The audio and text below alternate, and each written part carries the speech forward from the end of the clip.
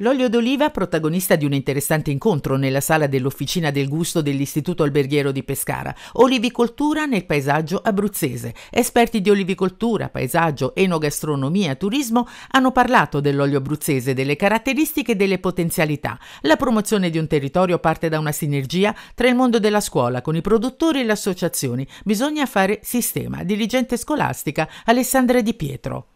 Il nostro evento nasce dalla sinergia che abbiamo ormai attivato da anni tra il sistema della formazione e quindi il nostro istituto, il mondo della produzione agroalimentare e le istituzioni.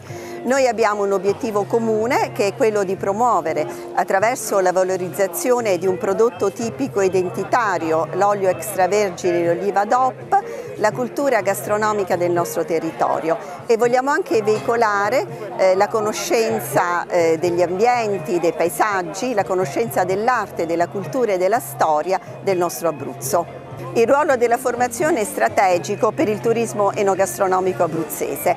Noi vogliamo creare delle figure che non siano soltanto per la ricezione turistica e per l'informazione, ma che abbiano delle competenze multidisciplinari e siano capaci di promuovere non soltanto l'enogastronomia del territorio, ma anche i luoghi, gli ambienti, la storia e la cultura. Ringrazio il Silvano Ferri, presidente del consorzio DOP Purtino Pescarese e Emanuele Faieta che rappresenta le città dell'olio d'Abruzzo ringrazio tutte le aziende che stanno partecipando e il Presidente della provincia di Pescara e i sindaci delle città dell'olio che hanno collaborato attivamente all'organizzazione di questo evento. C'è necessità di dare all'olio d'oliva il giusto valore con la comunicazione, ha detto Silvano Ferri, presidente del consorzio DOP Prutino Pescarese.